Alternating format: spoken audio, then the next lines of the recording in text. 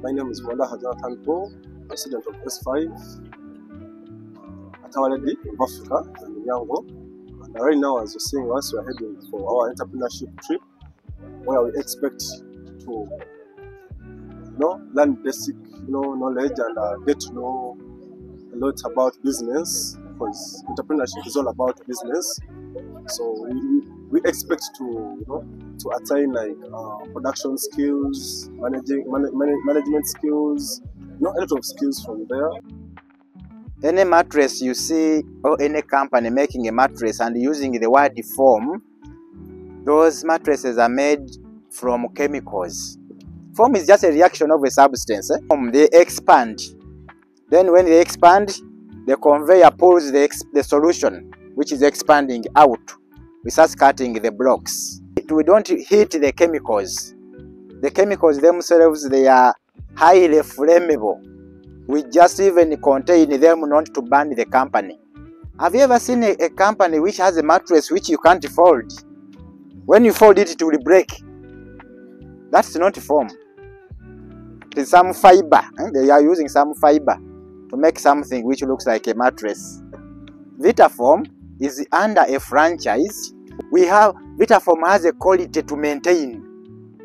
Hmm? Whether we want or not, as long as you are still calling yourself Vitafoam, there is a quality of a product we have to maintain. And that quality is above other products, other mattress products. From here to here, five, from here to here.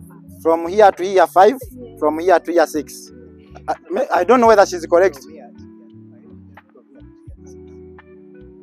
He's, he's also wrong, but he has tried better than anyone else.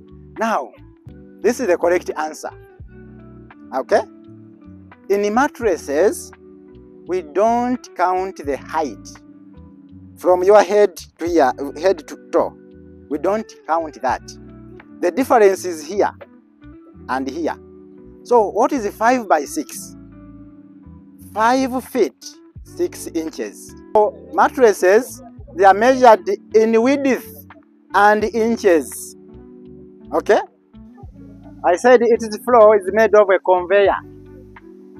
This floor is made of a conveyor. This one is a conveyor. It moves. As it moves, it is pushing whatever solution is from inside there, it pushes it this side. This is an automatic cutter here.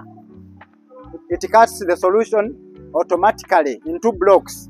What I call a block, they are those standing ones. Eh? Those standing ones, they are the, they are the blocks.